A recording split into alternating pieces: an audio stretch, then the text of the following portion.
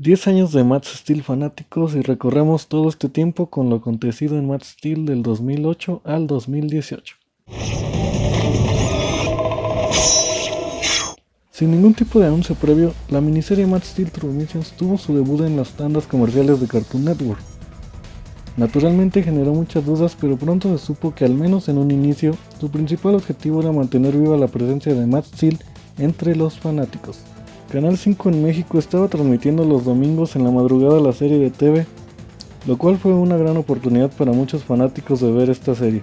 Si bien los match puntos llevaban vigentes desde el 2007 para jugar en línea, hubo una campaña para destinar recursos al salvamiento de una especie en peligro de extinción. La alianza con Hot Wheels regresó, la cual seguiría de forma continua durante todos los años del match original y algunos del próximo reboot.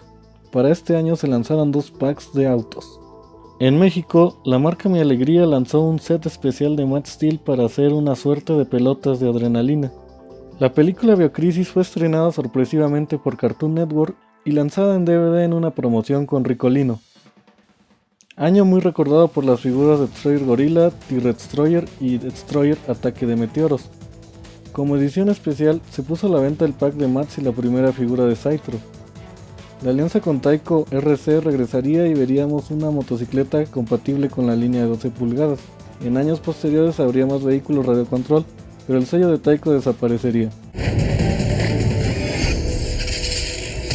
La línea 2009 sería llamada Turbo Missions, dejando claro que las figuras se relacionarían de forma directa con los nuevos capítulos de la miniserie homónima. Los capítulos se estrenarían prioritariamente en internet utilizando la página oficial recién actualizada, aunque también se lanzó en algunas regiones el respectivo DVD. La pista de Elementor de Hot Wheels fue lanzada. Con la modesta excusa de los 10 años de lanzamiento de la marca, la película Matt Steel vs. la amenaza mutante presentaría el villano que de acuerdo a la historia sería el peor de todos, Todson.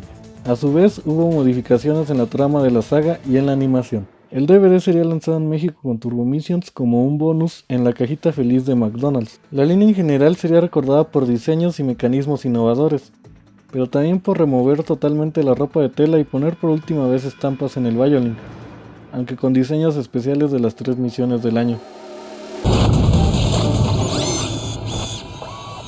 La línea sería llamada nuevamente Turbo Missions, con tres misiones nuevas.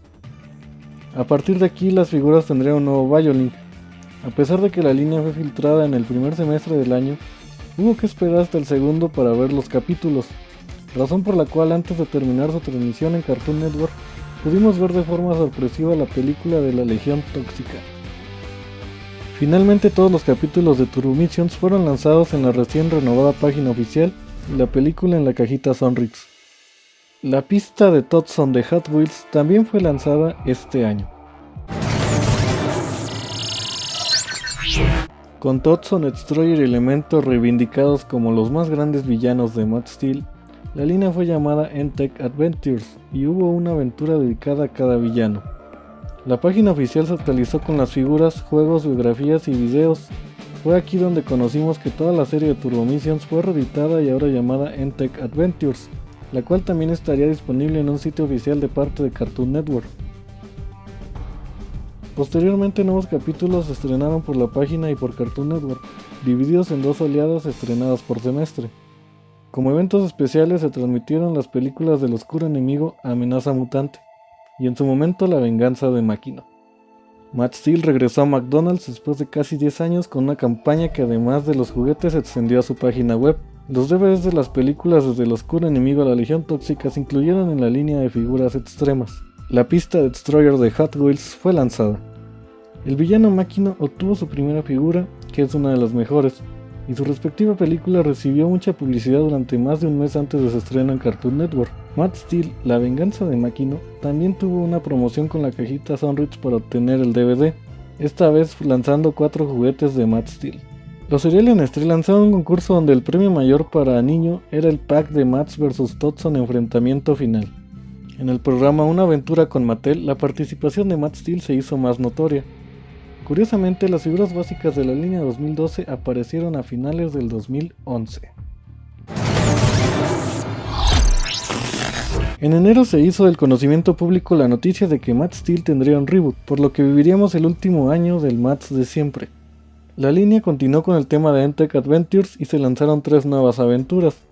DVDs de las películas del oscuro enemigo La venganza de Makino continuaron como regalo en la línea de figuras extremas. De nuevo toda la miniserie se reeditó a formato Entech Adventures 2012, pero no hubo nuevos cortos. En su lugar la nueva película se dividió en seis partes y cada par se le dedicó a una aventura. Los primeros capítulos se estrenaron en abril por la página oficial y los últimos en julio por Cartoon Network. Dicho canal transmitió los capítulos cada sábado desde mayo hasta noviembre, cuando transmitió la versión película. La página se actualizó principalmente en los juegos y hubo torneos donde todos los usuarios registrados se dividían en uno de los tres equipos para juntar suficiente puntaje y cumplir una misión. La pista de máquina de Hot Wheels fue lanzada contando con una complejidad mayor a las anteriores, Además, tres packs de autos basados en las nuevas Entech Adventures estuvieron a la venta. Con cuatro nuevos juguetes, Matt Steel volvió a McDonald's en octubre. Esta vez la campaña se extendió con un juego en una app. Nestlé repitió la mecánica del año anterior, pero esta vez con el centro de comando en Tech como premio mayor. Por tercer año consecutivo en México, la película fue lanzada en DVD con la cajita Sonrix.